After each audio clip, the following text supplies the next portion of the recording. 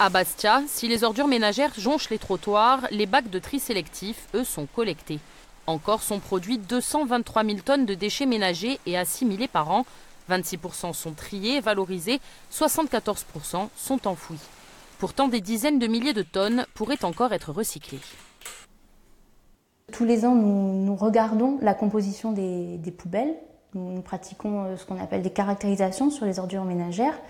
Et aujourd'hui, il faut avoir en tête qu'il y a encore 60% de choses valorisables qui sont dans les poubelles et pour lesquelles toutes les filières existent. Elles sont en place et euh, elles n'attendent qu'à réceptionner euh, ce qui se trouve encore aujourd'hui malheureusement dans la poubelle. Depuis sa création, le CIVADEC a mis en place 17 filières de valorisation.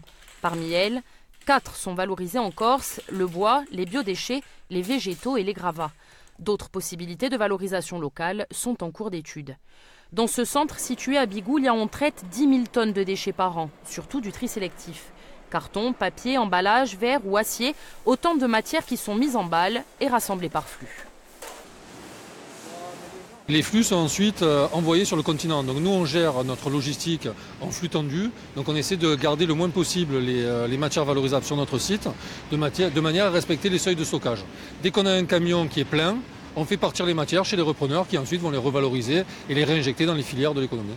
En pleine crise des déchets, les volumes de tri sélectif ont augmenté, mais pas forcément pour les bonnes raisons.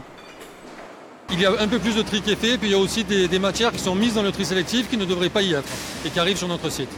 Comme quoi Comme des ordures, ménagères, des ordures ménagères, mais en très petite quantité.